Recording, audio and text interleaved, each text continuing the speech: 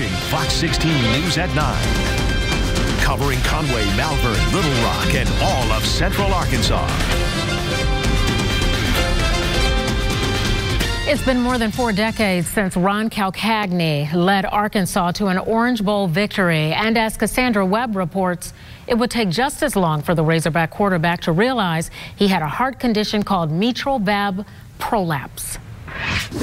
Ron Calcagni was a superstar on the gridiron. Look out, Calcagni, he gets away. He stayed active and healthy since then until a routine checkup revealed something surprising. And my primary care doctor said, did anybody ever tell you you have a, a, uh, a heart murmur? And I go, what do you mean a heart murmur? His primary care physician referred him to Dr. Alex Orsini at Baptist Health. And I was very excited because Ron Calcagni was coming in. His heritage, being an Italian and I'm an Italian, we kind of hit it off. All was well until April of this year when Calcagni noticed shortness of breath during one of his usual workouts. Soon after, he began coughing and ended up in the emergency room. Turned out, his heart valve was leaking.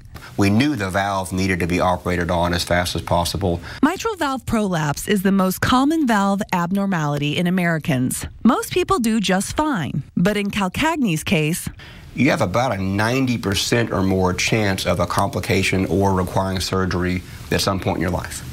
Calcagni's surgery in April was a success, and he says he's feeling great. And I can go back to my normal life, um, you know, uh, of doing the things that I was always doing. And theoretically, we will never have to operate it again, and he will go on with his active lifestyle for decades. The former Razorback offering this advice to everyone. Be proactive in your health care. That is so important, proactive, and don't take it lightly. Mm, very good point.